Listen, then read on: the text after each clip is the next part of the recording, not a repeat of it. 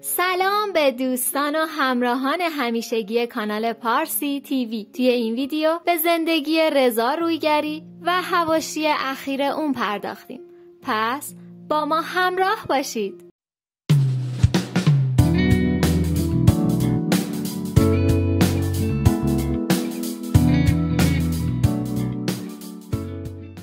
از هر چیز این ویدیو رو like کنید کانال ما رو subscribe کنید. زنگوله کنارش بزنید که از ویدیوهای جدیدمون زودتر از همه با خبر بشید. حتما ویدیوهای اخیری که از رضا رویگری توی خانه سالمندان در حال گلریزون در بیمارستان و در کنار همسرشون بوده رو دیدیم و شنیدیم. بله زندگی ایشون هم بسیار رازآلوده و همیشه دارای هواشی زیادی بوده. رضا رویگری متولد 1325 در تهران بازیگر خواننده و نقاشه. مدرک دیپلم داره و توی 23 سالگی برای اولین بار روی صحنه تئاتر رفت رفته و به خاطر صدای خوبش به سمت خوانندگی هم رفته. خانواده فوقالعاده مذهبی داشته که اونها آرزو داشتن رضا رویگری روحانی بشه که به خاطر دل اونها مدتی درس حوزوی خونده. توی نوجوانی به دو چیز علاقه داشته یکی خلبانی و یکی بازیگری. بعدش هم به نقاشی علاقه من شده. ولی به خاطر اینکه پدرش راضی نبوده علکی توی آزمون خلبانی رد شده. توی سال 47 وقتی 23 ساله بوده از طریق معرفی یه دوستی وارد تئاتر شده. بعد از چند سال بازی توی تئاتر و همکاری با ساموئل خاچیکیان توی سال 52 با سریال چنگک جلوی دوربین رفت و تا انقلاب توی تئاترها و یک سریال دیگر هم فعالیت کرد. روزهای منتهی به انقلاب زمانی که هنوز ساواک فعال بود آیه های قرآن رو به صورت سرود می‌خوند و چند بار هم از گلدسته های دانشگاه تهران پخش شدن بعد از انقلاب با خوندن سرود انقلابی الله الله توی تلویزیون به شدت مشهور شد. از سال 61 وقتی 36 سالش بود با سریال محله بروبیا به تلویزیون برگشت و توی سال 63 با فیلم سینمایی عقاب ها به اوج شهرت رسید. رضا رویگری با خانم فرشته میر هاشمی که دکترای روانشناسی از کالیفرنیا داشت ازدواج کرد که به دلیل اختلافهاشون و مخالفت رضا رویگری با کار کردنش از هم جدا شدن. این دو یک پسر به نام کیارش داشتن که همکنون در کشور آمریکا زندگی می‌کنه. چند وقت پیش ویدیویی از رضا رویگری منتشر شد که توی آسایشگاه سالمندان کهریزک بستری شده و تصویری بسیار متاثر کننده از خودش نشون داد و از مردم و مسئولان درخواست کمک کرد. و از همسرش تارا انتقاد کرد که اون رو به خانه سالمندان برده و حتی سیم کارتش رو عوض کرده و یه سیم کارت ایرانسل جدید بهش داده و اون شماره هیچ کس رو نداره.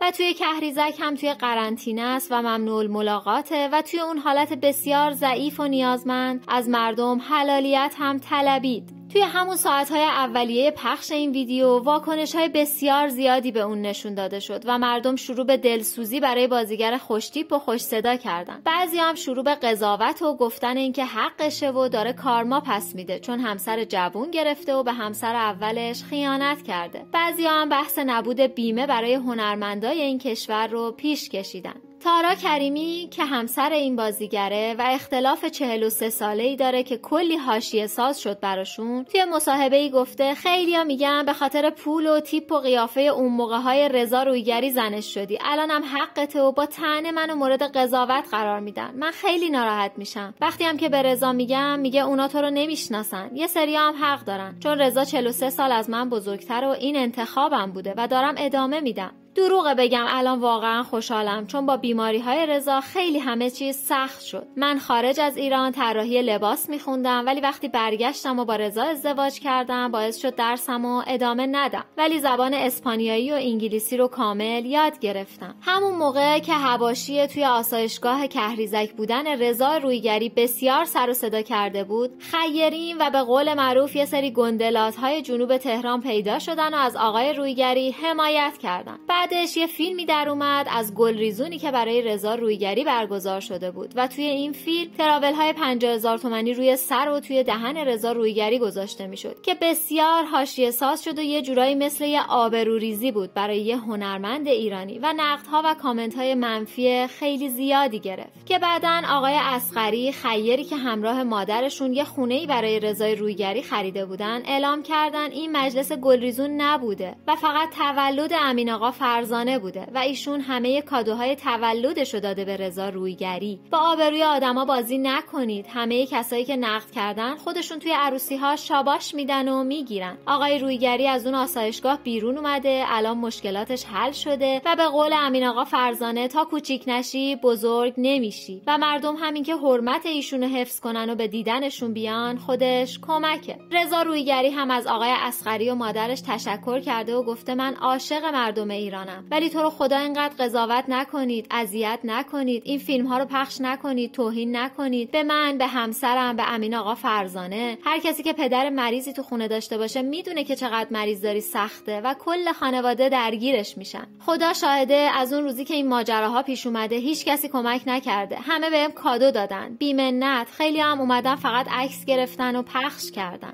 توی فیلم اخیری که از رضا رویگری منتشر شده رضا رویگری گفته واقعا اگر اون خونه هایی که به من قولش رو داده بودن به هم می‌دادن الان حداقل یه مسکن مهر رو داشتم. فقط آقای علیرضا اسخری رو قولش موند و با کمک تلویزیون اینجا رو برام تهیه کردن. همسرم هم همراه منه خیلی سختی کشیده خیلی مردم غیر منصفانه کامنت دادن. همسرم توی همون خونه قبلی میمونه یه وقتایی هم میاد اینجا. زمانی هم که آسایشگاه بودم همه می‌گفتن همسرم جدا شده و ول کرده رفت ولی همه زحمتمو ایشون می‌کشید. ده سال زحمت منو کشید و منو جمع و جور کرد. بالاخره عشقم مثل هوای بهار میمونه. یه وقت بارون میاد یه وقت تگرگ اندازه یه لبو میاد. یه روزایی هم آفتابیه و خوبه. بالاخره تو همه خونه ها مخصوصا به خاطر مشکلات اقتصادی این اختلافات هست. ولی ما همچنان داریم زندگیمون رو می‌کنیم. الان مدل های مختلف زندگی داریم. زندگی سفید و قرمز و سبز و اجتماعی داریم. ولی ما داریم مثل آدم معمولی ها زندگی انسانی خودمون رو می‌کنیم. من بازیگری رو خیلی دوست دارم هنوزم. اما تصمیم گرفتم انشالله حالم بهتر شد ادامه بدم. البته اگر کار خوب به هم بخوره حتما انجام میدم ولی دیگه کار ضعیف انجام نمیدم. چون بازیگری که نصف بدنش هم نمی‌تونه حرکت بده نمی‌تونه همه احساسش رو پیاده کنه. ما تو این فیلم ها چند بار فوت کردیم چند بارم تو فضای مجازی ما رو کشتن. منم کامنت گذاشتم یه دیگ حلوا براتون درست کردم. من حلوا خورم حلوا بده نیستم. حلواتونم درست کردم براتون میارم بهشت زهرا. من مردنی نیستم حالا حالا ها. خیلی آرزوها دارم. هنوز باید به مردمم و به کشورم خدمت کنم. انشالله خدا بهشون بیننده های زیادی بده که دست از سر من بردارم. والا آب می‌خورم میترسم وایرال بشه. توی یه مصاحبه خبرنگار ازشون پرسیدن شما بازنشسته شدین و بیمه دارین؟ که رضا رویگری گفت نه من اصلا بیمه کامل ندارم. قبلا هم ماهی 9 میلیون تومن اجاره خونه می‌دادم که همون کمرم شکست و منو داغون کرد. خیلی ها هم این مسائل آسایشگاه رفتن و اوضاع مالی خراب و اختلافات خانوادگیشون و یه جورایی یه مدل گدایی مدرن و با کلاس عنوان کردن و گفتن قبلا هم اینها این فیلم ها رو بازی کردن که انگار همسرش توی بیمارستان ولش کرده. ولی وقتی همه هزینه های داروها و وسایل مورد نیازشون تامین شد دوباره با هم به خوبی و خوشی توی مراسم شرکت کردن. الان هم یه عده میگن همسرشون ازش جدا زندگی می‌کنه فقط یه وقتایی بهش سر می‌زنه. ولی ما از چیزی مطمئن نیستیم و نمی‌تونیم صد درصد بگیم.